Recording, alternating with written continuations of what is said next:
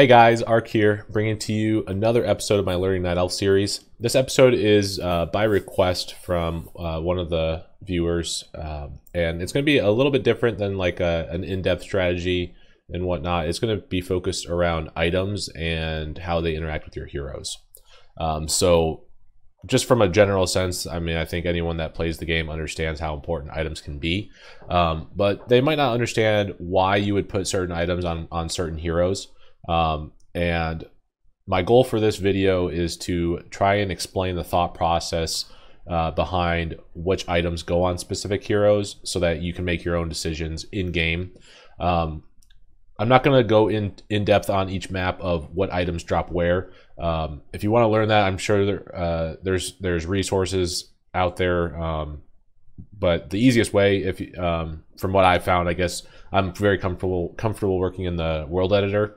Um, I, I, do it that way, or you can go into the the game itself and just creep around versus a computer. Um, I do that often as well, just to kind of practice my creeping as well. So both options are good, but I'm sure there's resources out there on like War Three Info or something that might have specifically where you can get it. But a lot of it's just going to come down to experience as well. So just play the game, and you'll get the uh, idea of which items drop where. Um, but so yeah, we're going to stick to explaining um, items and how they interact with your heroes. So what I wanted to start with was just uh, kind of opening up the world editor um, and just showing the items in general. So um, if you look on the left hand side, so this is the object editor and world editor. Um, you don't have to be familiar with working in it. It's just easiest for me to showcase what I'm trying to get around. So there's um, a couple different uh, uh, types of items. I guess you, you'll have your permanent items that you don't have any charges on. You, you can't consume them. Um, they're just always present on your hero, um, whether they're stats, upgrades, or something like Crystal Ball, which I can just see out of my corner, corner of my eye. Um, so those are just what we call permanent items. The there is also a charged items, or I, I often say like consumable items or something like that. Um, that's going to be something like your Wand of Illusions or your your um, uh, Murloc's Eye. It's not called Sentry Ward. I don't know what it's called. It's called Murloc's Eye in, War- in World of Warcraft. But um, so those are your charged items. They have a set amount of uses that once you use them, they will go away. Um, you have some others that are uh, like power ups. Those are kind of like your Tome of uh, Agilities, um, Tome of Intelligence, um, stuff like that. Uh, artifacts, I guess, are you're probably not going to see those except in your uh, um, free for alls or, or more than just one-on-one games. Um, but you can kind of see some of them down there.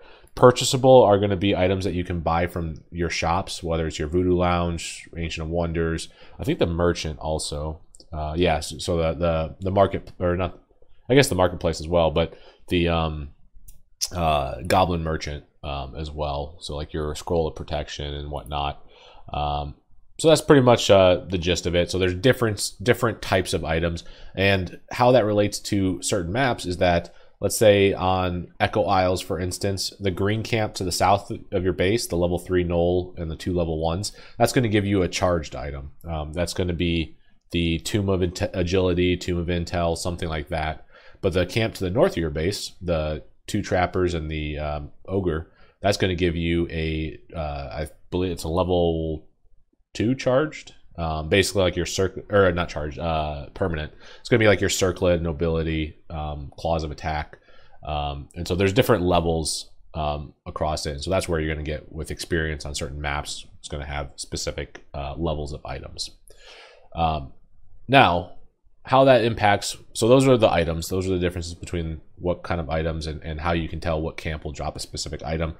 Um, it's because uh, it's a level one charge, level two charge, stuff like that.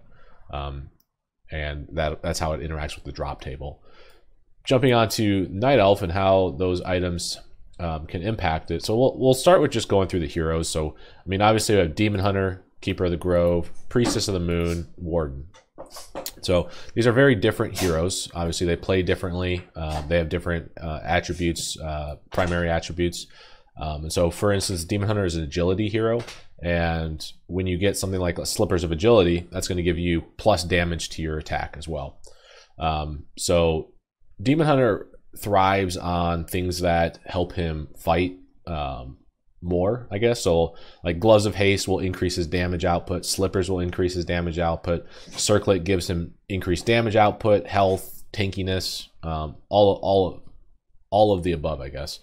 Um, and so typically early game, there's not really a bad item. I guess your two bad items, um, oftentimes that you'll see early game in a solo for Demon Hunter is Gauntlets of Strength and uh, Mantle. Those are probably the two worst items um, for him.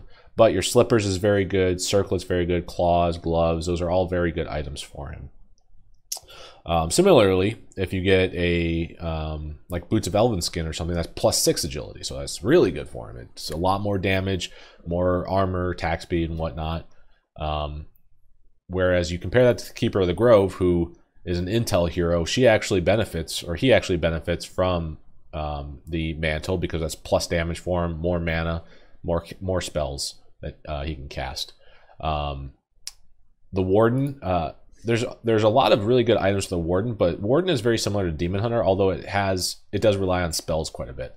So um, increases to his mana is actually pretty good. Um, but so is uh, plus damage to his attack. So slippers, claws, those are very good as well.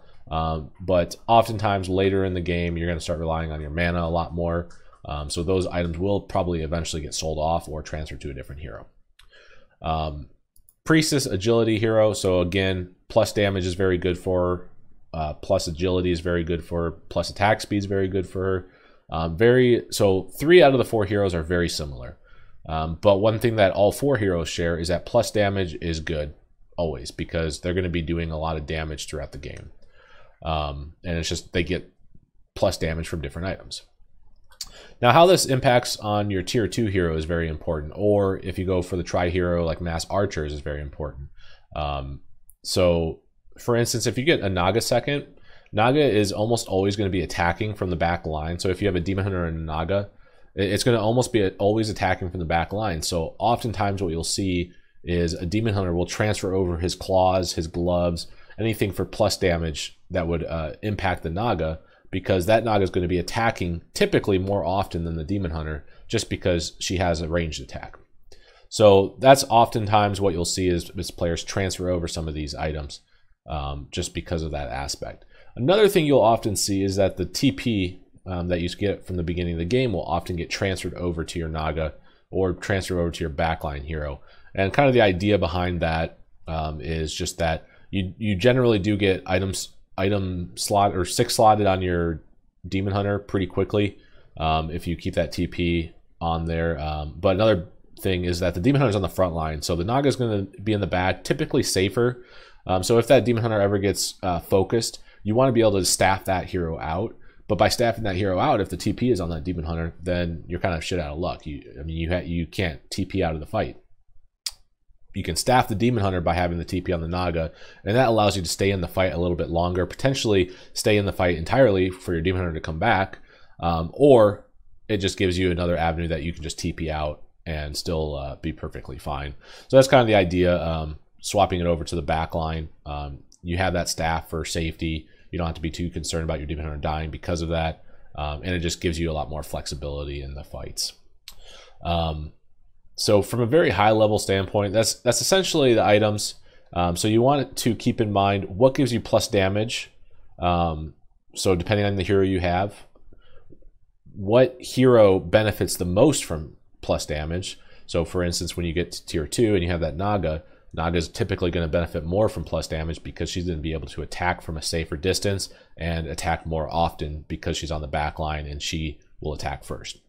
Um, or what do you prioritize on your hero? So if your demon hunter is your frontline, if you have a frontline hero, maybe gauntlets of strength or just HP in general is more beneficial for your frontline hero because he's at risk of being nuked or being attacked or targeted. So always just keep in mind where do you want your hero in the fight and what does that mean for you? So if your hero is safer, you generally want more attack damage on her or him so that it can be putting out damage while your frontliners are just tanking or um, I guess buying time. If if your hero is going to be more at risk, that's going to be something that you typically will want invul potions or healing and whatnot on because those are the heroes that are going to need it.